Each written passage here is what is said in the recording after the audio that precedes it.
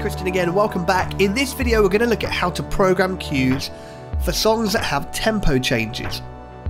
So in front of us is a Waymaker by Leeland, and you can see that the song comes quite nicely along at the same tempo until this final chorus and instrumental. And then because of the way it was recorded, we think we lose the click and the tempo automation clicks in, and there's quite a lot of tempo changes from here to the end. So what we need to be able to do is export a MIDI file that takes into consideration those changes so that when we bring it into playback it still lines up.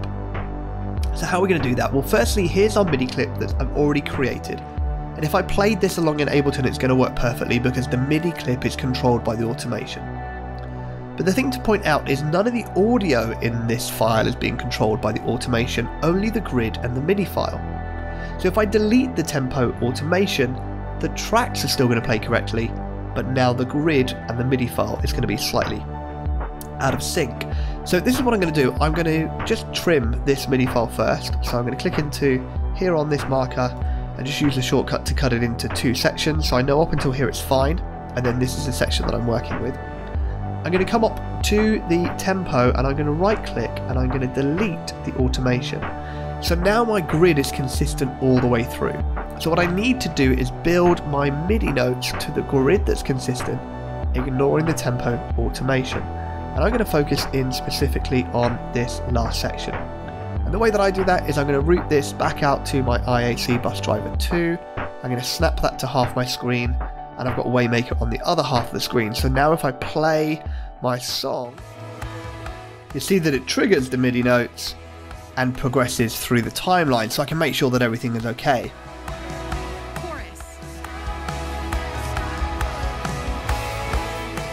So let's jump to the section that we're going to be looking at now. So it's after this refrain and it's this last chorus.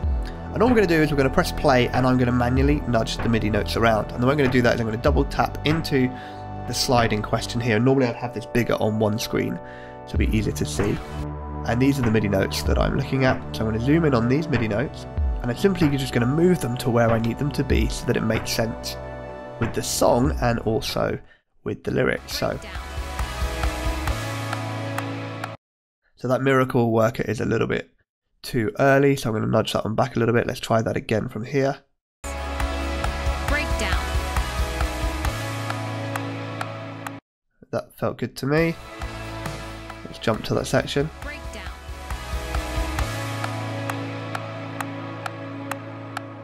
So again, Promise Keeper is too soon, so this MIDI note here now, I want to move here. Let's just do that again because I elongated that rather than copied it. So let's zoom in on this MIDI note. And let's move this one to about here and let's see how that looks. Breakdown.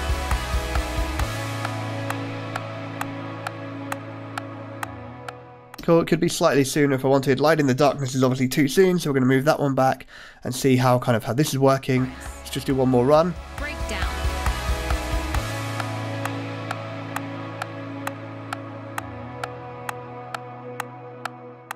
Good, and so this, this one is the last note that just needs to move, and I'm going to move that one to here for the moment just to see how that feels. And I'm literally just doing it by sight and by listening to the audio. Waymaker.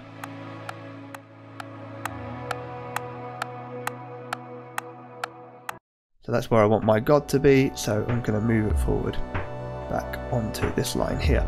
And that's the process. I would go through, I would notch the other MIDI notes back in. Um, if the tempo came back to the normal tempo, I could split that and I could be good to go. And then again, same as before, when I'm finished, I'm going to highlight all of the MIDI notes, drag back, and I'm going to consolidate them with Command J into one MIDI clip, right click, and export that MIDI clip.